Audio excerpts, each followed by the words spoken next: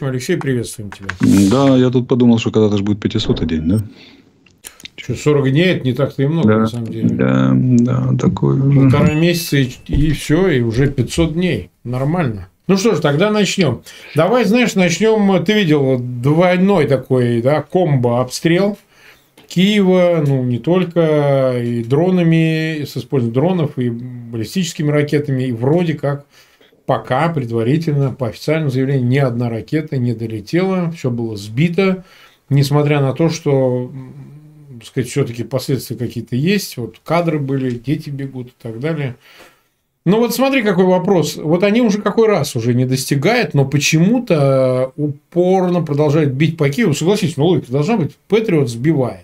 Логика очень простая. Давай, Прост, говори. Простая, понятная. Во-первых, это продолжение вчерашней нашей истории. Заключается оно вот в чем, что им нужно психологически нас привести в состояние повышенной тревожности. И на это будут накладываться все другие факторы. Они формируют общественное мнение против войны, за сдачу. Это их главная задача. Формируют доступными средствами, информационными операциями, психологическими операциями, давлением психологическим, которое они оказывают через постоянные обстрелы. Потому что даже когда наше ПВО все сбивает, обстрелы никому настроения не добавляют. Это бахи страшно и так далее. Первая задача. Да. Просадить, просадить психологически обеспечить тревожность и создать условия для формирования общественного мнения которая готова на уступки, давит на власть с целью уступок. Тут они ошибаются, но с другой стороны надо же что-то делать.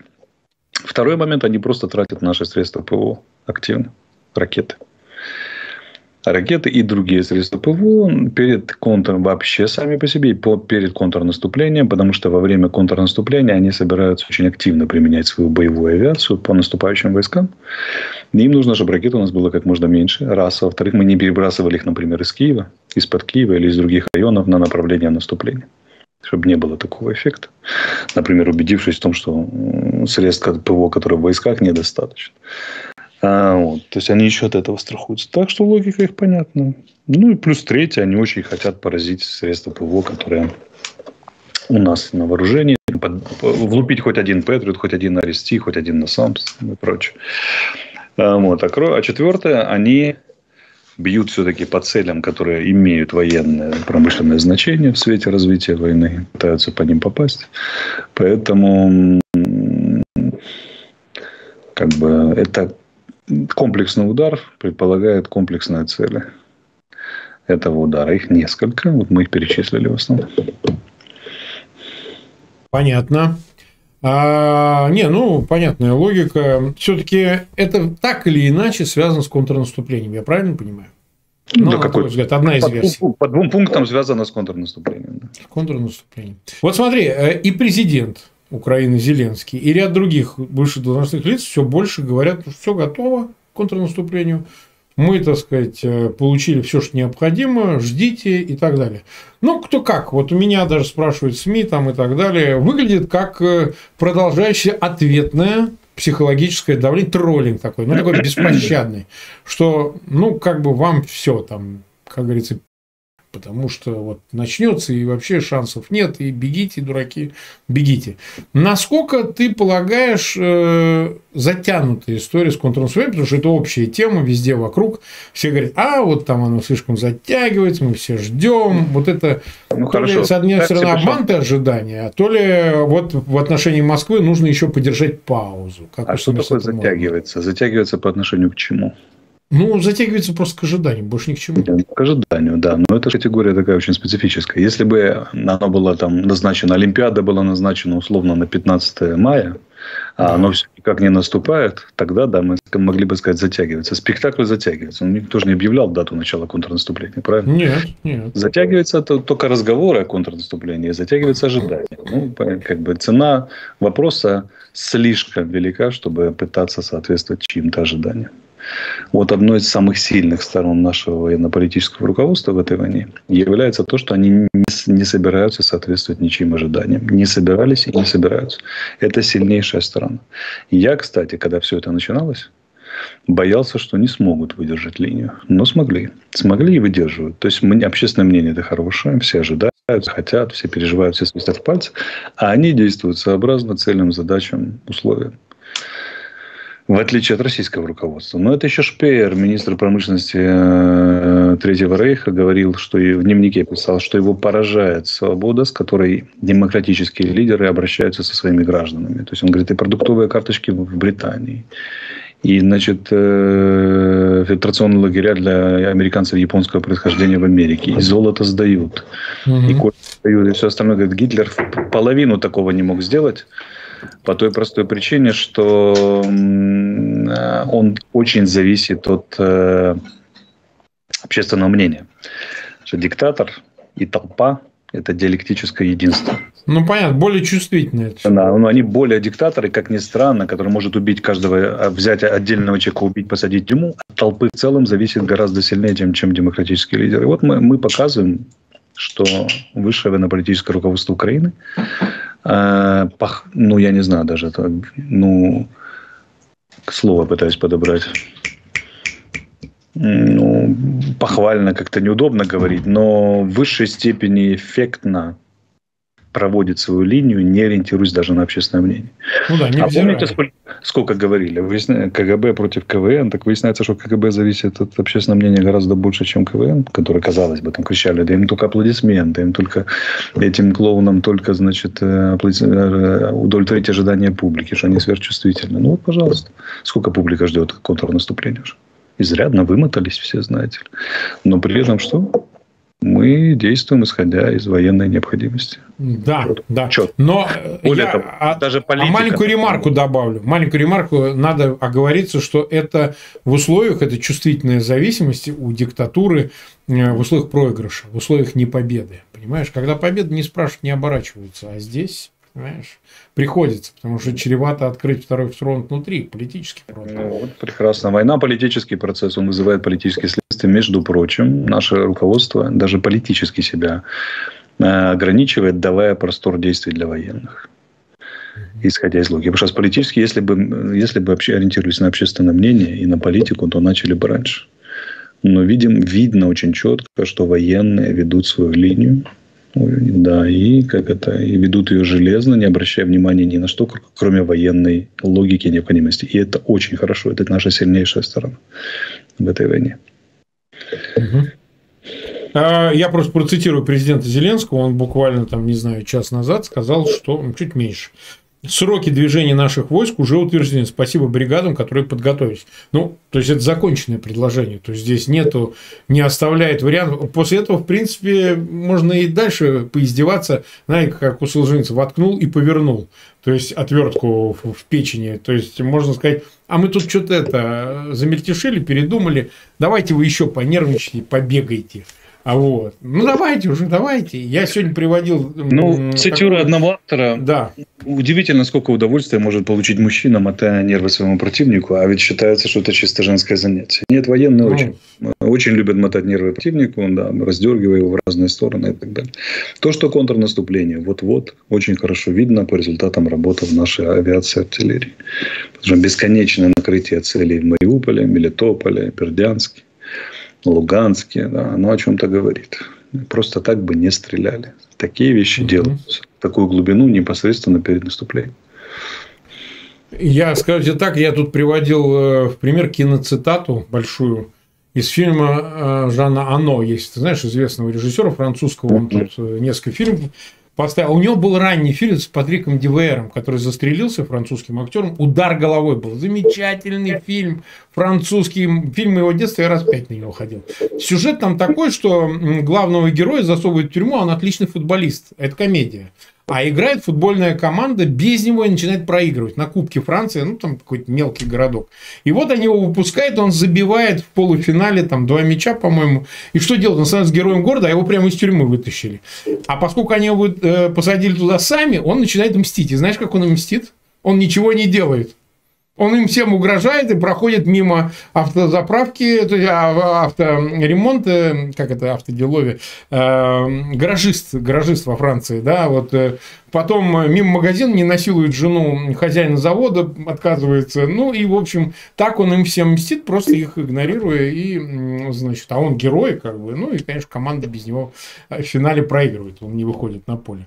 Ну, в общем, ладно, поедем дальше. Вот ты знаешь, сейчас начала озвучиваться версия весьма э, радикальная относительно э, Пригожина. Что вывод войск тут как-то затуманился, никто не понимает, называется 10 июня, до которого должны сдать позиции Министерства обороны частям, но Министерство обороны пока не реагирует. И, так сказать, я вот сегодня Сырского слушал, он говорит, ну да, Пригожин объявляет о выводе, но пока вот радикально чего-то не произошло. Они не передали позиции в Бахмуте. И вообще не очень понятно, а вокруг звучат новости об окружении Бахмута и возможном, собственно говоря, так сказать, вы первой победе, если его действительно с флангов окружат, если это будет частью контрнаступления, одним из направлений ударов, то вообще первая победа абсолютно. То есть, ну, взяли его Бахмут. И что дальше?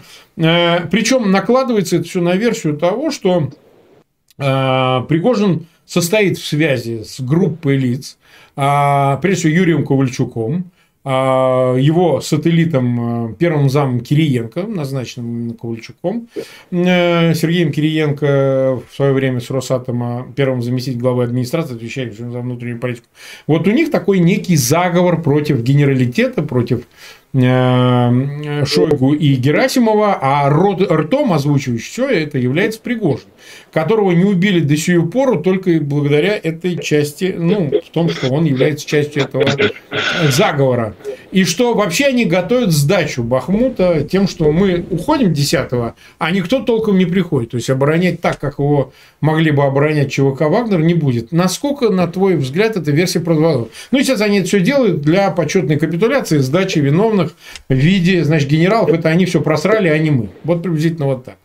Ну, конспирология хорошая штука, она должна, да, да, она, она. она должна опираться на факты. Факты пока таковы. Часть подразделений Вагнера вывели. Малую часть и не самые ударные. Большая часть остается на тех же позициях. Объявлено много чего, мало чего происходит. Поэтому мы уже видели его там торжественный отход 10 мая, да, в 00 часов, как он объявлял. Уже, значит, июнь скоро. А ВОЗ и ныне там.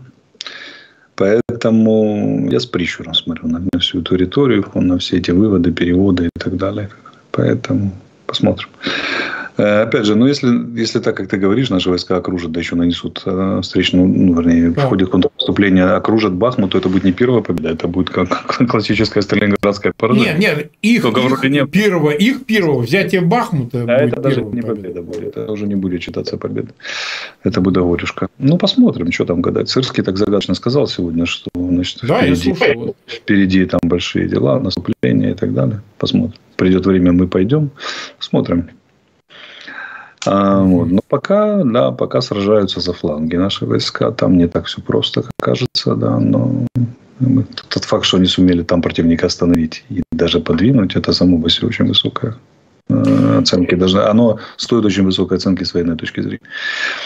А, вот, да и человеческой. Ну, как-то так. А мы сейчас карту показываем. Ты сразу можешь по карте пробежаться. Да, что там пробегаться, без особых изменений. С момента вчерашних наших разговоров так точно ничего особенного не произошло. Основное событие это сейчас обстрелы, налеты угу. и так далее. По земле идут бои местного значения. Угу. А, ну вот, смысле, например... В том смысле, что они не интенсивные, не заслуживают внимания. В том смысле, что карта не движется. Поэтому там нечего показывать по карте. Ну, то же самое можно назвать Угледар, Авдеевка, э, Бахмут, э, Кременная, Лиман. Вот это направление основное. Белогоровка там немножко еще было. Ну, то есть, ты считаешь, это не похоже на затишье такой перед... Э, да, какое же затишье? Там Месилова идет по полной. Единственное, что карта никуда не движется, поэтому по карте этот самый по карте особо показывать нечего. Мы можем показать только более интенсивное действие. Угу. Угу. Более того, как бы, понимаешь, с Вагнером такая история. Я думаю, что они... Пригожин расценивает угрозу окружения Бахмута как реальную. Он неоднократно об этом говорил. Так поэтому да. он выводит или почему? Да, да, они выходят, Вагнера уходят, уходят частями, медленнее, чем ожидалось, но реально выходят из Бахмута, из окружения. Они дают возможность регулярам, там, регулярным войскам Российской Федерации или сохранить свое лицо, или, простите, обосраться по полной. А Пригожин очень бережет свою группировку. Не потому, что он человеколюбивый э, гражданин, а потому, что это основа его реальной силы. Пригожина приключения в Судане интересуют гораздо больше в Центральноафриканской Республике и в Мали, чем приключения под Бахмут. Ну, он, он говорит, это вообще не наше дело этим заниматься. Он же говорил, когда меня в марте прошлого года вызвали, да, когда у вас все было плохо, мы пришли на помощь. И что мы получили в результате? Так вот,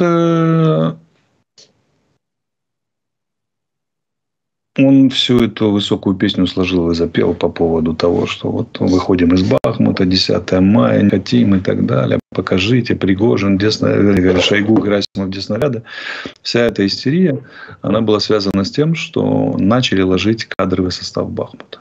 Потери, которые он Бахмута Вагнера, потери, которые он назвал, 10 тысяч убитыми из костяка, это очень дорогая цена за районный центр. В принципе, и для него особенно. Он хочет сохранить костяк группировки. Ладно, когда можно было зэками жертвовать, там и всеми прочими мобилизованными, случайно оказавшимся в Вагнере.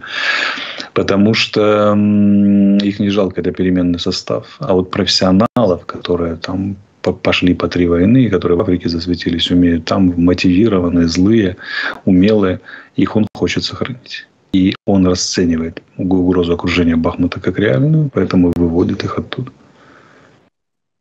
Ну, он не хочет, смотри, брать ответственность за предстоящее поражение, за оставление Бахмута или Ответственность Бахмута. такое. Он не хочет, чтобы все, все попали там в окружение. Представь себе, вот э, Вагнер в окружении, и мы его там добиваем весь в полном составе, или сколько там его есть, или больше половины. Что тогда будет делать Пригожин?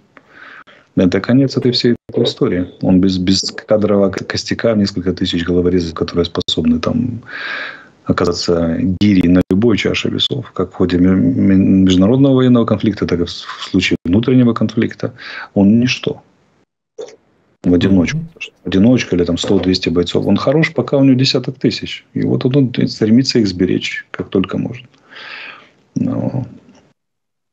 Угу. Ну вот смотри, небезынтересное заявление сегодня сделал глава украинской разведки военной Кирилл Буданов. Пригрозил скорым ответом на обстрелы Киева. А, прямая цитата. «Все те, кто пытался нас запугать, мечтая, что это принесет какой-то эффект, вы очень скоро об этом пожалеете. Наш ответ не заставит себя ждать. Скоро все все увидят», заявил Буданов, комментируя сегодняшний обстрел Киева. Значит ли что это, да? То есть, э, ну, Буданов, видимо, не сильно так слов на ветер бросает, мягко говоря, после того, как он это говорил, потом что-то взрывается, кому-то дарит статуэтку или того хуже, куда-то кто-то едет и занимает какие-то спутниковые города в отношении всяких там центров э, столичных субъектов федерации. Э, вот это как мы должны расценивать, э, на твой взгляд? Это означает, что продолжится какие-то действия ну, диверсионного характера. Я почему об этом говорю? Потому что а, были несколько сейчас цикл публикаций в западных СМИ, в серьезных СМИ, о том, что украинская разведка, ну, сообщество, разведсообщество и СБУ, и э, Гурмову действует предельно дерзко, ни с кем не советуясь, что они, так сказать, и профессионально, они отдают должное, там говорится о том, что, ну, действуют так, что позавидует любой, ну, за счет дерзости во многом, да, вот что нельзя, вот нет этих ограничителей, за счет этого получается жутковато, да, а насколько ты считаешь, далеко все может зайти? Там, не знаю, там, убить Путина или там убить Пригожина, вот как говорилось об этом представителям группы. Если бы, так легко было, если бы так легко было убить Путина и Пригожина, их бы давно убили. Дело не в этом. Дело в том, что мы действительно обезбашены, обезбашены по-хорошему, но мы в то же время адекватные. Адекватные, то есть мы воюем сообразно правилам, э, правилам европейской армии, которая ведет ну, европейского типа, соблюдая правила обычая войны. А то, что операции предельно дерзкие, не считаются они с возможным риском, это, это однозначно. В этом смысле и СБУ, и ГУР, они такие, да, ребята, очень злые. Поэтому что-то будет, и будет что-то интересное. Будет что-то интересное. В общем, оно будет вне зависимости от обстрела. Оно да? Будет, пока мы не решим своих целей и задач. А наши цели и задачи, напоминаю, очень простые. Ни одного российского солдата, путинского солдата на нашей территории. Выдача военных преступников, репарации. Угу. И ГУР, и СБУ, и все остальные спецслужбы, и вся, вся силовая машина Украины, дипломатия будет добиваться этого всеми доступными средствами. Пока есть сила. А сила у нас немерено, как говорится. Поэтому все будет хорошо. Мы без, да, мы без башни. Могу сказать, что израильтяне так это... А разведсообщество аплодирует? Ну, вот, скажем так, люди не, не чуждые подобным темам, они при закрытом общении говорят, что ребята, вы нация воинов. Мы не ожидали такого. Ну, такие, да, исполняете вещи, что даже мы так это, при всей нашей дерзости, израильтяне тоже очень дерзкие спецслужбы, говорят, ну мы встаем, снимаем шляпы. Да, это оценка такая, я бы сказал, такая себе. Ну, посмотрим, что будет, так сказать. Покупаем попкорн, пивко ящиками и будем готовиться. Ты видел, что в Косово происходит очередное обострение, да. как обычно, дежурное такое, я бы сказал. Эм. Вот. Э, как бы ты это оценил, насколько здесь есть какая-то инспирация, там, не знаю, еще что-то. Там уже дошло до столкновений, кого-то ранили, кого-то подстрелили, в общем. Ну, Вучич, президент Сербии, после его крайнее заявление звучит так, что косовский спецназовец стрельнул по толпе сербов, ранил одного человека. Армия Сербии в боевой готовности по периметру Косово, северной границы. Угу. Значит, э, он обратился к, к странам Запада с просьбой утихомирить косовского премьера. Да, и еще дополнительно заявил, что, возможно, пострадали натовские миротворцы, которые там, mm-hmm. подчеркнул, они не защитили и сами пострадали. Мол, уймите mm-hmm. косовских товарищей, иначе мы усмирим. Вот, но надо понимать, что косо, косовары смотрят на сербов примерно как мы на россиян. Та же самая история. Поэтому тут вопрос еще на чьей стороне нашей симпатии. В этом сложном и запутанном конфликте. Но, э, понимаешь, там в Сербии косовская тема – это тема номер один на, на внутриполитическом рынке идей. Ну, бесспорно. И они неоднократно к ней обращались, потому что нужно там получить какие-то преференции. У нас языковая тема, у них косовская тема. Дерни, никогда не ошибешься, на этом всегда можно сварить кашу хорошую. Но когда ты дергаешь тигра за усы, рано или поздно получаются малоуправляемые ситуации. Вот сейчас примерно такая ситуация, которая грозит некоторой эскалацией. А, вот, потому что дергали, дергали, дернули, передергали чуть больше, чем надо бы дергать. А, поэтому игры с такими вещами, они всегда чреваты неуправляемой эскалацией. Вот, поэтому посмотрим, чем он закончится в этот раз. Несколько месяцев назад такое было. Помнишь, мы обсуждали в июне, по-моему, месяце? Да. Было, было, было. Да, да, ну, тут такой момент, как бы, да, вот сербы не пошли на выборы в Косово а потом развернули э, серию протестов, э, когда протестуют против неправильного, по, по, по их мнению, выбора. Ну, не совсем mm-hmm. логично, да? Как бы, да, ну, такая себе интересно. Это То такой... есть, на мой взгляд, она ни во что не перерастет, конечно. Нет, я не говорил так. Я говорю, что мы имеем похожую ситуацию на управляемый э, саботаж косовских властей сербами, которые населяют Косово вот, инспирирование на там, итальянская забастовка по выборам переходит в протесты. Вот уже есть первые жертвы. И наоборот, я говорю, что этот конфликт потенциально опасен, обострение. Вот. Но форма этого обострения, ну не будет же сербские войска с НАТО воевать, простите. С Нет, это исключено. Исключено, да. То есть они, они что, они будут грозить шведу, пытаться там ловить этого косовского назовца, который там стрельнул стрельбом по сербам. В общем, это сложная такая трехсторонняя ситуация. Посмотрим, как она будет развиваться, куда она будет двигаться. И э, опасность, в принципе, есть. Опасность новых жертв. Я не вижу там опасности большого конфликта. Но опасности новых жертв, да, не исключено. Угу. Так, хорошо, поедем дальше. Состоялся телефонный разговор Владимира Путина президентом Турции Реджепом Тейпом Эрдоганом, сообщает Кремль. Владимир Путин тепло поздравил Реджеп Тейпа и Эрдогана с переизбранием на должность главы государства, подчеркнув его большой вклад в развитие российско-турецких отношений в конструктивном взаимовыгодном ключе. Отмечено, что поддержка, выраженная турецким народом своему лидеру, открывает дополнительные перспективы для расширения практического двустороннего сотрудничества на различных направлениях. Благодарив за поздравление президента Турецкой Республики, в свою очередь, подтвердил настрой на дальнейшую совместную работу по всей актуальной повестке дня. Условлено продолжение личных контактов, говорится в сообщении. Ну вот э, он первым поздравил, американцев пока нет. И более того, э, инспекция ОБСЕ сказала, что не так, чтобы сильно чистые были выборы. В Турции какие-то замечания все-таки есть, несмотря на то, что он сам а Эрдоган назвал их э, праздником демократии, ну и все такое, все такое. Что бы ты сказал, может ну, ли это, как мы вчера задавали опрос, как-то поменять характер политики Эрдогана в большую сторону к Москве? Не думаю. Там в одной из провинций, где 28% он всего набрал, в принципе, оспаривают голоса, там народ будует, полиция разгоняет их водометами. Но логика понятна. Даже если они будут признаны ОБСЕ, а они не, предварительно уже не признаны, то все равно тут в Турции их признают, скорее всего. Нет, будут Турцию признали уже все. То есть он на пять лет президент, а дальше все, все следует все то, что мы говорили вчера. Пантюркизм, панисламизм, панисламизм и так далее. Вопрос, чтобы ему здоровья хватило следующее, быть следующие пять непростых лет президентом Турции.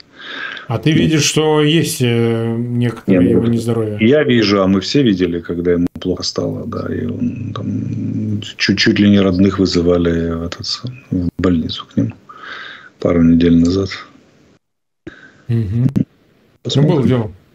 Да. Ну вот смотри, следующая новость. Верховная Рада Украины на заседании проголосовала за перенос Дня Победы в стране на 8 мая с 9, который был прежде. Причем это предложение, насколько я помню, был президента Зеленского. Он с ним обратился в Верховную Раду. И в общем и целом это поддержано. Ну, то есть, это тоже шаг к европеизации, к разрыву, собственно, с советской традицией Отечественной войны, победы да. в Отечественной войне в пользу Второй мировой войны. Вот как, какая здесь, э, ну, такая мифологическая составляющая, на твой взгляд? Составляющая очень простая. Победа в Великой Отечественной войне была главным системообразующим мифом Советского Союза. Да. И остается главным системообразующим мифом Советской, вернее, путинской России, хотя ничего более, более антисоветского, чем путинская Россия, придумать даже нельзя, вообразить себе нельзя. Ну, вот. Но они пытаются перенести это, то, что драйвит, это же чистая технология. Никто реально в эти все победы не верит. Хотя Путин поклонник Сталина такой, понятно. Там. Но, но тем не менее, значит, такая, такая странная история, когда они ставят рядом иконы современной России, иконы Николая I и Сталина рядышком, и радостно им молятся и тем, и другим. И тому, и другому. А мы разрываем связь с этим системообразующим бифом, показывая, что нам не по пути. И давно не по пути. Вот. И присоединяемся к мифологии европейской, которая отмечает День Победы в, над фашистской Германией 8 мая. Но акцент там даже не на победе, а на памяти жертв скорее. Как-то так. Больше. У нас тоже символ МАК. Э, и это память о погибших.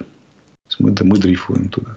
До этого отмечали, до 9 Ну да, 9 носит совершенно иную коннотацию, как э, празднество да. именно. С моей да, точки победы. зрения гораздо с моей точки зрения гораздо больше важный праздник в конце июля у нас, который день день э, на день крещения Руси, день Руси Украины, так называемый. Вот этот праздник гораздо более важный и гораздо более серьезный. Почему? Объясни нам. Объясни, мы с удовольствием послушаем.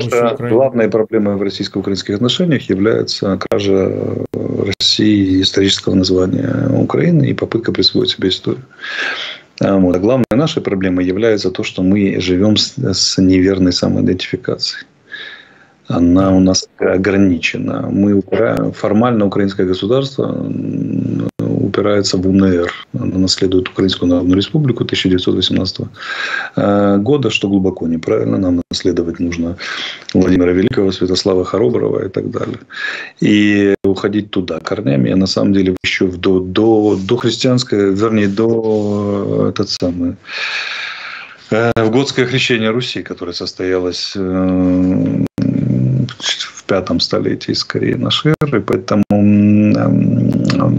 по-хорошему надо уходить и в Триполи. В общем, история Украины – это набор разорванных мифов, которые до сих пор не выстроены в одно целое. Одной из моих главных идеологических задач является собрать в это в цельную мифологию, чтобы от трипольцев и даже раньше, проходя через все эпохи истории, включая сегодняшнюю логику и в будущее, была экстраполирована история Украины, этой земли скажем так, и народ, народа, и народов, которые сменяют друг друга. Потому что уходить вот в УНР, ну, как бы, чего, стартовать с неудачи, да еще сравнительно недавней, столетней, это величайшая глупость с моей точки зрения. Тем более, зачем отдавать ну, как бы, Москве назвать. Mm-hmm. Все Русь, это, вернее, Россия, это по-гречески Русь, кто не знает, и так далее. Мы Русь. Просто учитывая, что у нас как бы есть существенная идентификация, связанная с понятием Украины, и украинцы, то надо дополнить нашу самоидентификацию. Украинцы еще самоидентификация Русью, как бы мы и являемся. Во Львове есть улица русская, об этом далеко можно. Когда Радическая уния заключалась, Речь Посполитая трех народов, там был русский народ. То есть мы э, польский литовский. Все, все это прекрасно знают. А, вот, поэтому нужно дополнить ее. И это, казалось бы, пустяковое символическое действие хранит за собой величайший символический капитал, который подорвет вообще все претензии Москвы на эту территорию. Обнулит. И претензии Москвы на великодержавность, между прочим, обнулит. Потому что не может город, которому 875 лет, претендовать на земли, на город, которому 1741 вчера, 1541 вчера исполнилось. Это нелогично на 7 веков. Или на 6 веков. Поэтому... Не, на 7. Поэтому все эти вещи надо ставить на место. У нас никак не могут на это решиться, с моей точки зрения. Это главная наша ошибка в настоящий момент. Но один шаг в эту сторону мы сделали. Президент Зеленский да, сделал акцент, что праздник украинской государственности празднуется на День крещения Руси, конец июля каждого года. И вот это очень существенная история. Поважнее независимости, с моей точки зрения, и поважнее всех других дней. Вот если эту тему развивать, то это был бы и информационно-психологическая, и, я бы даже сказал, метаисторическая операция. А мы помним, как Путин обосновывал и, обос... и обосновывает вторжение в Украину. Метаисторическими причинами. Ну, безусловно. Ну, похоже, только два человека всерьез к этому относятся, Путин и я. Поэтому, да, поэтому давно пора эту тему исправить. Я постоянно об этом говорю. Иногда говорю, иногда, иногда не говорю. Вот когда есть повод, опять говорю. Сегодня говорю опять снова. Наша главная глупость, то, что мы до сих пор не, не, не переименовались в Русь Украина и не дополнили самоидентификацию, не заявили претензию на весь исторический пласт, на всю историческую и не выбили из-под Москвы главную табуретку. Потому что выбить советский миф 9 мая – это полдела. Давайте уже, если мы этой дорогой нулись, давайте уже выбьем всю основу мифологии. Все, что никакая они не Русь, они, они осколок Золотой Орды, как бы, да, который, который претендует на, на наше все. На нашу историю, на нашу родину, на, на нашу на наш язык, на наш, на, не знаю, на наших князей, на все хорошее, чего мы здесь дали. И что мы собой представляли. Ну, да. Они, кстати, это прекрасно понимают. Они памятник Владимиру разместили в центре Москвы. Хотя это наш Владимир. На секундочку. Если почитать надписи на Софийском соборе, которые там датируются XI веком, XIII веком, то там украинский язык. То есть он наиболее близок к языку Древней Руси. Это, кстати, один из основных аргументов русскоязычных, почему надо учить украинский. Что это язык ваших, ваших предков. Ну, такой наиболее близкий к нему. Вы же вы ж претендуете на русский, на русских, ну так учить это да, настоящий русский, русский язык с, с одной с одним мягким знаком, который украинский. Ну вот как-то так. Ну, ну я надеюсь, э, я бы как капля камень точит, надеюсь, что меня однажды услышат. Причем слышат очень многие, да, и рано или поздно, я думаю, все случится. А, ну вот ты знаешь... Это мы все полумерами, да, полумерами чтобы сделать один серьезный шаг через всю шахматную доску. Угу. А я тебе скажу такую вещь. Сейчас в Москве пересмотр идет некоторые концепции. Они от Владимира князя Крестителя а, уходят к Невскому. Потому они... что у этого высшие исторические коннотации, больше исторические коннотации. А, Невский был э, антизападником в представлении, так сказать, патентованным ордынцем. И это концепт гораздо более выгодный, там, нежели креститель, э, в общем, это обязывает к другим вещам совершенно, и поэтому Невский сейчас гораздо ближе мифологии российской, нежели Владимир Креститель. Они его поставили, потому что понятно, это Владимир, это Владимир. Они же угодить хотели, больше никаких других тут нет причин.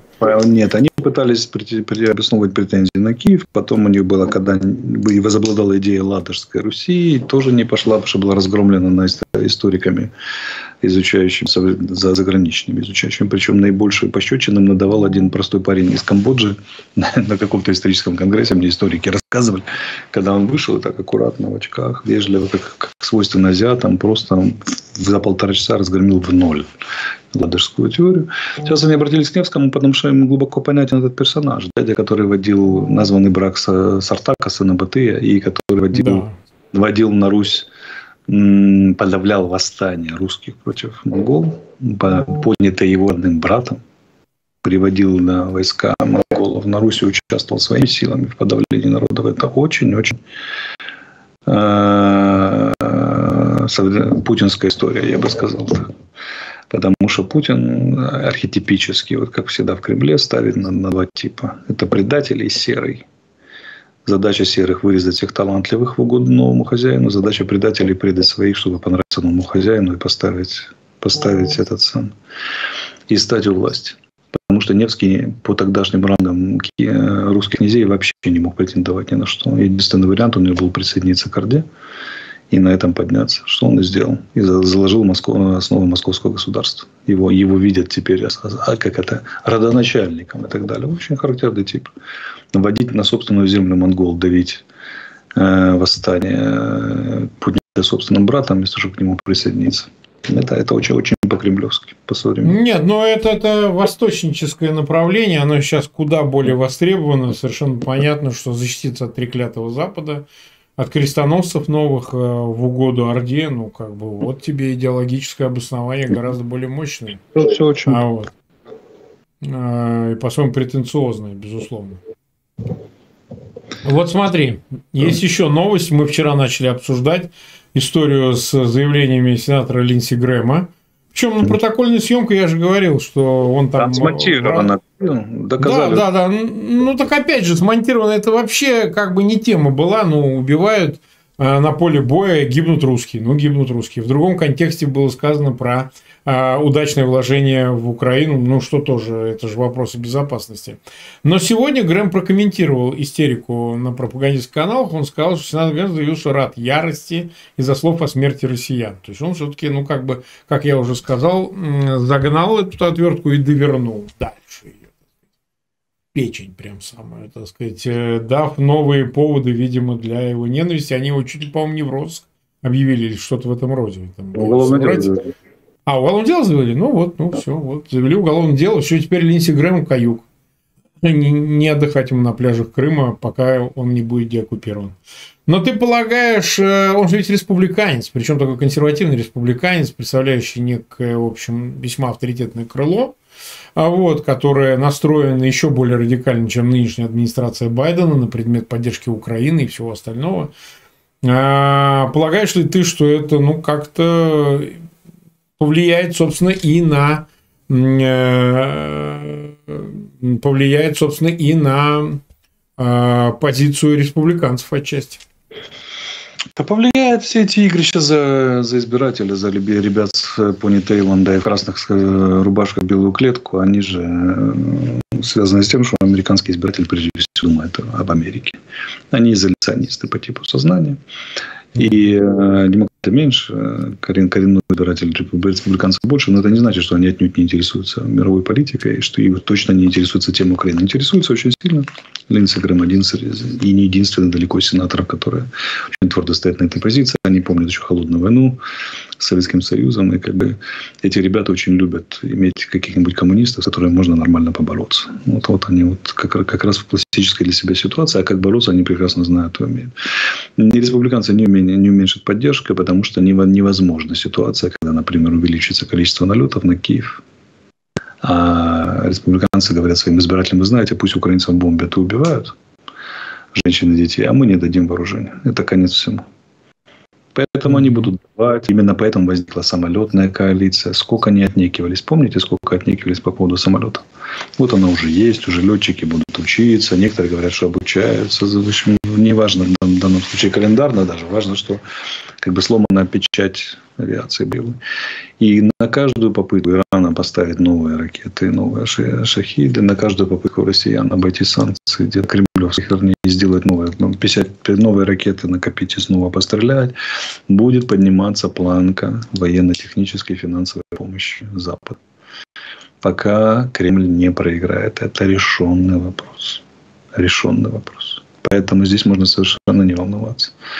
И даже если победят республиканцы, республиканский президент, Десантис, например, республиканское большинство, то эта поддержка усилится, потому что часть этой риторики, она же очень простая. Когда у тебя двупартийная система, все, что делает риторика, обычно такая предвыборная, все, что делает правящая, правящая партия, это коалиция, это всегда плохо. Вот они помогают Украине, значит, где-то давайте искать в этом слабые места. Э, вот, потому что точно так же было бы, если бы сейчас республиканцы были у власти и нас поддерживали изо всех сил, то их бы демократы критиковали по тем же самым поводам. Непрозрачные поставки, слишком много тратим и прочее, прочее, прочее. Но это, это, это избирательный процесс. Не надо путать его с реальной, реальной поддержкой Украины. Поддержка будет только нарастать. Только mm-hmm. нарастать. Поэтому и большая семерка тому порука. И Барель сегодня высказал глава дипломатии, что Путин не пойдет на переговоры, не попытавшись еще раз выиграть войну. Он будет прикладывать усилия, говорит, поэтому нам надо расходы на оборону увеличивать постоянно и на помощь Украине. Они очень трезво оценивают происходящее. Поэтому эта поддержка будет нарастать, только нарастать. Алексей, спасибо. Увидимся в среду. Всем пока. Спасибо. До встречи.